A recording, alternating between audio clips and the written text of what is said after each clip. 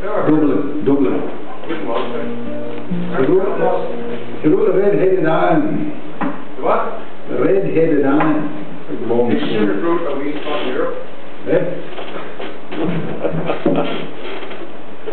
This is one he has in.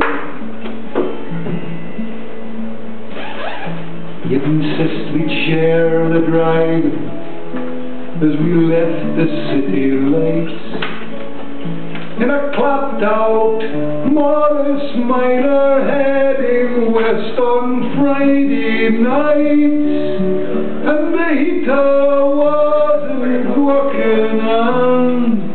We never had a spare.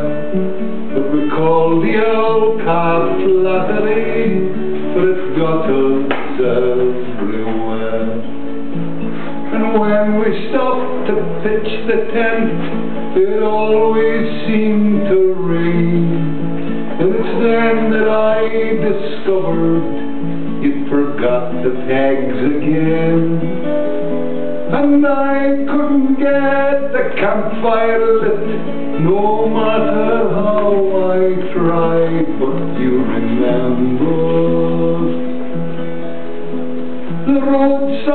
stops for bread and cheese and supermarket wine. When the world was ours and I was yours, and I thought you were mine.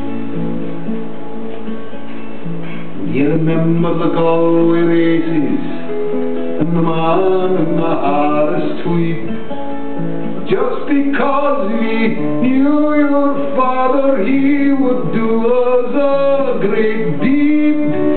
But the horse we bet our money on, I swear it's running still.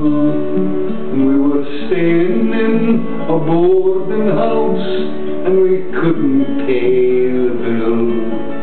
Still you laughed when I went overboard and you told me not to swear. Saying the town is full of Yankees,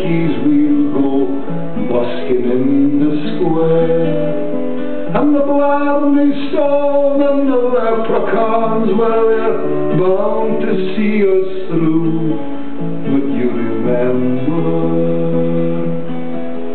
as we sank the sun on Galway Bay for the eighty-second time, when the world was ours and I was yours, and I thought you were mine. You called me from the airport just before you caught the plane to tell me you were leaving and that I was not to blame. And you hoped that I might understand and we could still be friends. But I knew by what you said that we would never I must confess it hurt like hell that I miss you yet. For you are not the kind of girl that's easy to forget. Still, sometimes some half forgotten fragment of you crosses my mind, and I remember.